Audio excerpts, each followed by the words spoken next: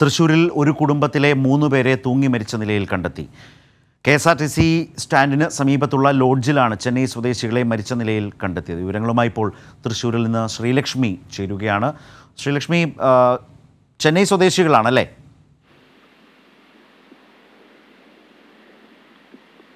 ശരത് ചെന്നൈ സ്വദേശികളായ സന്തോഷ് പീറ്റർ സുനി ഭാര്യ സുനി പീറ്റർ മകൾ എന്നിവരെയാണ് തൃശ്ശൂരിലെ ലോഡ്ജിൽ നിന്ന് മരിച്ച നിലയിൽ കണ്ടെത്തിയത്.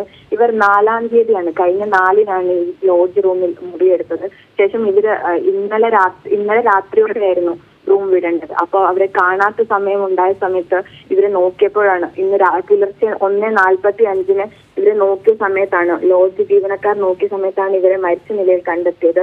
ഇന്നലെ രാത്രിയോടെയാണ് ഇവർ മരിച്ചത്. ഇതിലെ സന്തോഷിനെ ഫാനിൽ കെട്ടിത്തൂങ്ങിയ നിലയിലും സുനിയെ അടുത്തുള്ള ബെഡിലും അതുപോലെ തന്നെ മകളെ ബാത്റൂമിലുമാണ് മരിച്ച നിലയിൽ കണ്ടെത്തിയത്. ഇവർ ചെന്നൈ സ്വദേശികളാണ്. ആത്മഹത്യയാണെന്നാണ് പ്രാഥമികമായ നിഗമനം.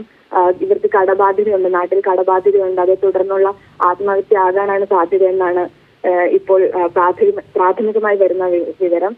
ഒൻപത് മണിയോടെ തൃശൂർ ഈസ്റ്റ് പോലീസ് ഇവരുടെ ഇൻക്വസ്റ്റ് നടപടികൾ ആരംഭിക്കും. ചെറുക്കും ശരി ശ്രീലക്ഷ്മി.